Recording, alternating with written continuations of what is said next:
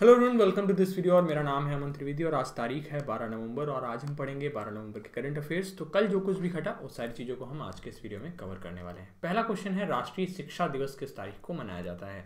आठ, नौ, दस या फिर ग्यारह नवंबर। इसका आंसर जानेंगे। उसके पहले, अगर आपने मेरा टेलीग्राम चैनल अभी तक ज्वाइन नहीं किया है तो टेलीग्राम पर जाकर सर्च कीजिए at the rate A M A N T R I V E D I I आप सर्च करेंगे डबल आई लगाएँगे एंड में तो आपको मेरा टेलीग्राम चैनल मिल जाएगा और टेलीग्राम पे आप मुझे फॉलो कर सकते हैं अमन त्रिवेदी चैनल नाम से, ठीक है? और इंस्टाग्राम पे भी आप मुझे फॉलो कर सकते हैं सेम यूज़र नेम इंस्टाग्राम पे है।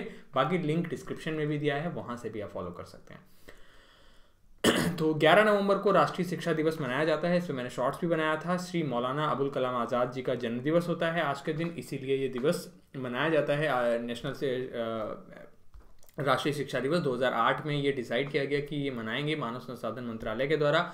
और चूँकि देश के पहले शिक्षा मंत्री मौलाना अबुल कलाम आज़ाद थे, उन्होंने खिलाफत मूवमेंट को लीड किया था 1919 से 1924 के बीच में। 1935 में वो कांग्रेस के 1923 में 35 वर्ष की आयु में वो कांग्रेस के प्रेसिडेंट भी बन गए थे। आईआईटीज़ की स्थापना करने में उनका महत्वपूर्ण योगदान है। यूनिवर्सिटी विश्वविद्यालय अनुदान आयोग यूनिवर्सिटी ग्रांट्स कमीशन बनाने में उनका मुख्य आयोग है। साथ ही साथ जामिया मिलिया इस्लामिया यूनिवर्सिटी को भी स्थापित इन्होंने ही किया था। ठीक है? इसके अलावा ये भी काफ़ी इंपॉर्टेंट फैक्ट है आ, कि 15 नवंबर से जनजातीय गौरव दिवस मनाया जाएगा। बिरसा मुंडा की जयंती के साथ में जनजातीय गौरव दिवस मनाया जाएगा। मंत्रिमंडल ने 15 नवंबर को जनजातीय गौरव दिवस के रूप में मनाने की मंजूरी दी है। प्रधानमंत्री श्री नरेंद्र मोदी की अध्यक्षता में केंद्रीय मंत्रिमंडल ने 15 नवंबर को जनजातीय गौरव दिवस के रूप में घोषित करने की मंजूरी दे दी है। 15 नवंबर को चुना गया है क्योंकि यह तारीख श्री बिरसा मुंडा की जयंती का प्रतीक है, जिन्हें देश भर के आदिवासी समुदायों द्वारा भगवान के रूप में सम्मानित किया जाता है। साथ ही साथ जनजातीय गौरव दिवस बहादुर आदिवासी स्वतंत्रता सेनानियों और देश के लिए उनके बलिदान को समर्पित है। सांस्कृतिक विरासत के संरक्षण और वीरता, आतिथ्य और राष्ट्रीय गौरव के भारतीय मूल्यों को बढ़ावा देने के लिए आदिवासियों के प्रयासों को मान्यता देने के लिए अब से हर साल यह दिवस मनाया जाएगा। अगला सवाल है, कौन सा देश अंतरराष्ट्रीय सौर गठबंधन में शामिल होने वाला 101वां सदस्य बन गया है?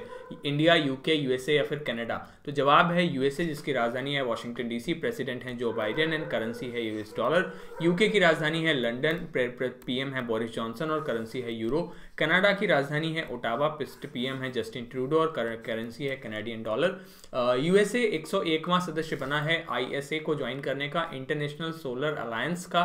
ये प्रधानमंत्री मोदी ने ही, जी ने ही इसका आइडिया दिया था और इसका मुख्यालय गुड़गांव में है। पेरिस में इसकी स्थापना की गई थी और 30 नवंबर 2015 को और अजय माथुर इसके महानिदेशक हैं। ठीक है? तो इसको ज्वाइन करने वाला 101वां सदस्य बन गया है। साथ ही साथ ड्वेन ब्रावो ने अपने अंतर्राष्ट्रीय क्रिकेट से संन्यास की घोषणा कर दी है। वेस्टइंडीज क्रिकेट टीम के पूर्व कप्तान आपको ये बात पता होगी, जिन्हें नहीं पता है वो ध्यान से जान ले कि वेस्ट इंडीज अपने आप में कोई कंट्री नहीं है। West Indies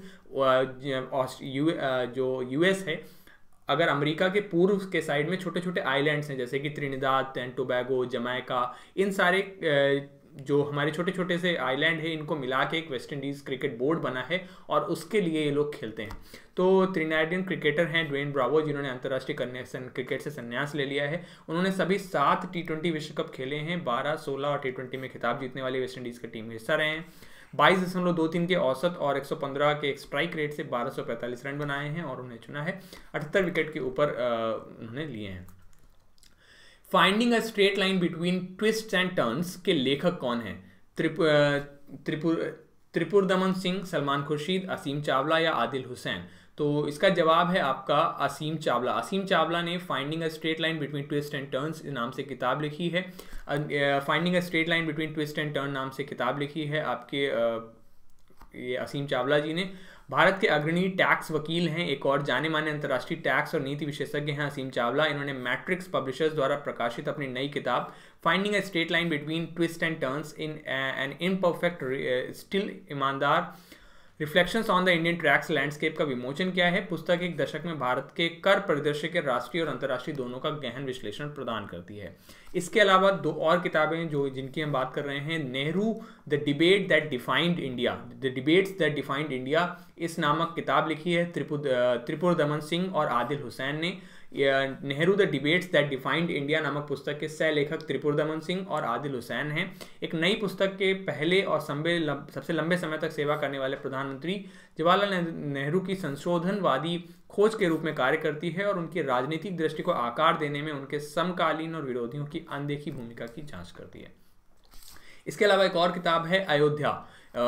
Nationhood in our times, sunrise over Ayodhya. ये सलमान खुर्शीद की एक नई किताब है, सनराइज ओवर अयोध्या नामक। पूर्व केंद्रीय मंत्री और कांग्रेस नेता सलमान खुर्शीद, जिन्होंने हाल ही में अयोध्या फैसले पर अपनी पुस्तक, sunrise over Ayodhya nation with in our times नामक लॉन्च की है। खुर्शीद ने कहा, लोग सोचते थे कि फैसला आने में सौ साल लगेंगे। फैसले के बाद लोगों ने शायद इसे पढ़े या समझे बिना राय देना शुरू कर दिया है। सुप्रीम कोर्ट ने क्या, क्यों और कैसे फैसला दिया, उसके बारे में उन्होंने बात की है। बाकी गलत कारणों से विवाद में भी है। हाल ही में कोनेरू रामकृष्ण जी का निधन हुआ है, वह किस क्षेत्र से संबंधित है? क्रिकेट, सिनेमा, पॉलिटिक्स या फिलोसफर? तो ये फिलोसफर थे कोनेरू रामकृष्ण नामक नाम जी।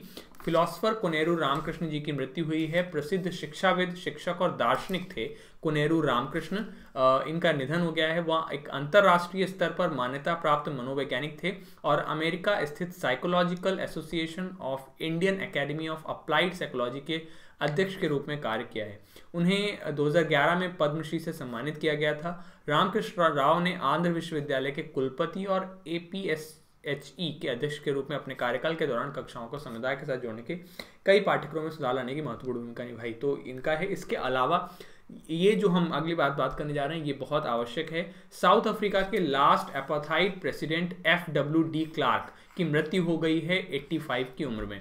अब एपाथाइड क्या होता है? एपाथाइड मतलब होता है रंग भेद तो ये समझ लीजिए कि नेल्सन मंडेला से जस्ट पहले जो प्रेसिडेंट थे साउथ अफ्रीका के, जब एपाथाइड प्रेसिडेंट इसलिए कहा जा रहा है क्योंकि इनके कार्यकाल तक जो जो कलर्ड लोग थे, यानी कि जो ब्लैक्स थे, उनको वोटिंग राइट्स नहीं मिले हुए थे। तो एपरथाइड प्रेसिडेंट जो लास्ट एपरथाइड प्रेसिडेंट थे एफ़ डब्ल्यू डी क्लार्क उनकी मृत्यु पिचासी वर्ष की उम्र में हो गई है। एफ़ डब्ल्यू डी क्लार्क थे जिन्होंने 1990 में अनाउंस किया था नेंसल मंडेला को प्रिजन से रिलीज़ किया जाएगा एंड uh, उनके बारे में हम आगे बात करने जा रहे हैं।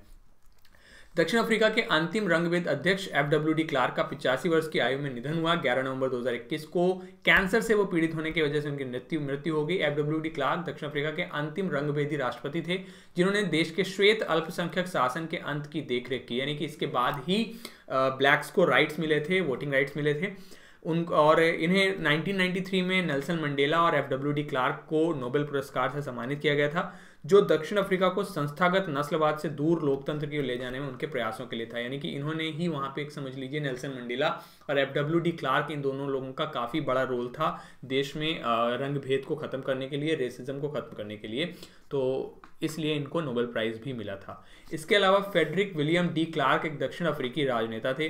उन्नीस सौ नवासी से उन्नीस सौ चौरानवे तक दक्षिण अफ्रीका के राष्ट्रपति और उन्नीस सौ चौरानवे से उन्नीस सौ छियानवे तक उपराष्ट्रपति थे। एफ़ डब्ल्यू डी क्लार्क श्वेत अल्पसंख्यक शासन के युग के अंतिम राष्ट्रपति थे और क्लार्क की सरकार ने रंगभेद व्यवस्था को खत्म कर दिया और दक्षिण अफ्रीका में लोकतंत्र की शुरुआत की।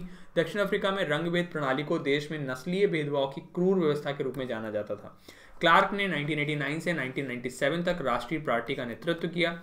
रंगभेद प्रणाली को संस्थागत बनाने वाली राष्ट्रीय पार्टी के सदस्य के रूप में संसद के लिए चुने जाने से पहले एफ़ क्लार्क कानून का अध्ययन कर रहे थे। 78 में क्लार्क को आंतरिक मामलों में कई मंत्रियों नियुक्त किया। 1936 में जोहान्सबर्ग में उनकी, उनका जन्म हुआ था। इसके बाद में जो नेक्स्ट प्रेसिडेंट रहे, वो रहे आपके नेल्सन मंडेला। 1993 और इन दोनों लोगों को नोबेल प्राइज़ मिला था 1993 में। ठीक है? तो बाकी आप पीडीएफ में पढ़ सकते हैं इनके बारे में। तो काफ़ी इंपॉर्टेंट है, इसलिए इसको मैंने थोड़ा सा डिटेल में बताया बात की है। इनको नाम ज़रूर याद रखिएगा F W De Klerk Amway India के ब्रांड एम्बेसडर के रूप में किसे नियुक्त किया गया है? रणवीर सिंह, आयुष्मान खुराना, दीपिका पादुकोण या अमिताभ बच्चन। तो क्वाइन डी का ब्रांड एम्बेसडर आयुष्मान खुराना को बनाया गया था। क्वाइन डी के ही ब्रांड एम्बेसडर अमिताभ बच्चन भी हैं। साथ ही साथ चिंगारी एक ऐप है और चिंगारी नाम से क्रिप्टो रिलीज़ की गई थी चिंगारी ऐप के द्वारा ही। उसके ब्रांड एम्बेसडर हैं सलमान खान, रणवीर सिंह क्वाइन स्विच कुबेर के हैं और दीपिका पादुकोण, एडिडास के हैं। फ़िलहाल एमबे इंडिया के ब्रांड एम्बेसडर के रूप में अमिताभ बच्चन को नियुक्त किया गया है। अमिताभ बच्चन एमवे इंडिया के ब्रांड एम्बेसडर बने हैं। Direct selling FMCG company Amway India ने बॉलीवुड मेगा स्टार अमिताभ बच्चन को अपना ब्रांड एम्बेसडर बनाया है और यह एक ऐसा समय जब दोनों ब्रांड समग्र स्वास्थ्य, कल्याण और महिला सशक्तिकरण और प्रगतिशील भारत के उद्यमिता के लिए, युवाओं को प्रेरित करने के लिए आगे आए हैं। तो एमबे इंडिया काफ़ी लोग एमबे के प्रोडक्ट्स यूज़ करते होंगे, उसी के ब्रांड एम्बेसडर अब अमिताभ बच्चन बन गए हैं। इसके अलावा who has been appointed as the head of C I S F C I S F का प्रमुख किसे नियुक्त किया गया है? ये न्यूज़ हम पहले भी दो दिन पहले पढ़ चुके हैं। Sheelvardhan Singh S N Pradhan R Hari Kumar या अतुल करवाल? तो जवाब है इसका शीलवर्धन सिंह। शीलवर्धन सिंह को सी आई एस एफ़ का प्रमुख नियुक्त किया गया है। एस एन प्रधान को एन सी बी का चीफ नियुक्त किया गया है। श्री आर हरि कुमार को नेवल चीफ नियुक्त किया गया है। कल हमने पढ़ा था। और अतुल करवाल को N D R F director general बनाया गया है। जो एस एन प्रधान हैं, ये बी चीफ बने हैं। और एस एन प्रधान ही पहले एनडीआरएफ के डायरेक्टर जनरल थे तो यहाँ से इनको हटा के एनसीबी चीफ बना दिया गया है और एनडीआरएफ डायरेक्टर जनरल बन गए हैं अतुल करवाल। ठीक है? श्री शील वर्धन सिंह को सीआईएसएफ का अध्यक्ष नियुक्त किया गया है आईपीएस अधिकारी सीआईएसएफ के प्रमुख होंगे। ठीक है? इसके अलावा एनसीबी का जो अध्यक्ष है, वो एस एन प्रधान को बनाया गया है अगस्त 2024 के लिए, तक के लिए। आईपीएस अधिकारी सत्यनारायण प्रधान को प्रतिनियुक्त के आधार पर नारकोटिक्स कंट्रोल ब्यूरो का महानिदेशक नियुक्त किया गया है। ठीक है? इसके अलावा नोवाक जोकोविक ने थर्टी मास्टर्स टाइटल जीत लिया है पेरिस 2021 का।